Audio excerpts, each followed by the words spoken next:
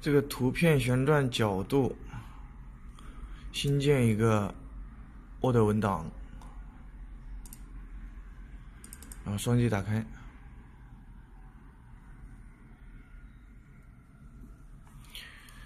这里有个插入啊，插入图片。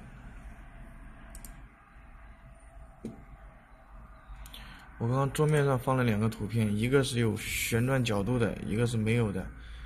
把这两个图片都放进来，有角度的这个缩小，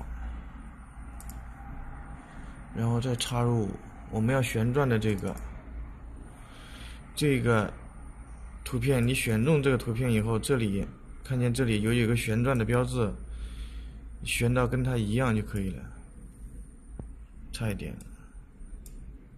啊，这个角度和它这个角度旋转的差不多就行了。然后再用微信截个图，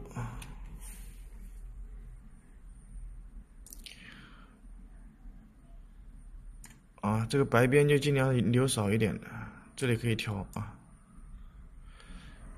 尽量的白边越小越好。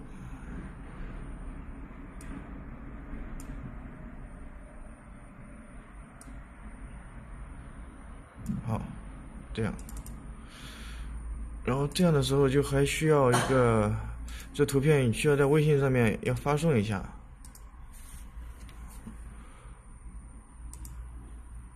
然后就可以把这个图片也放到桌面上了。你看一下，这个角度和这个角度是一样的。然后右键，打开方式，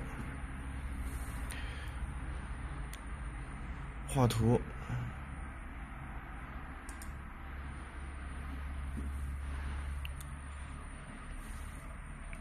这里点个文件，现在不要点，鼠标指到另存为，现在选择 BMP。文件名随便取一个，我们取个好记的，就随便输两个数字好记。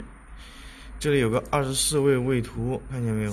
二十四位位图改成单色位，然后把它放到桌面上，保存，确定，确定。然后保存的二十二，这个图片就可以了，再放到 LG 的文件夹里面就好了。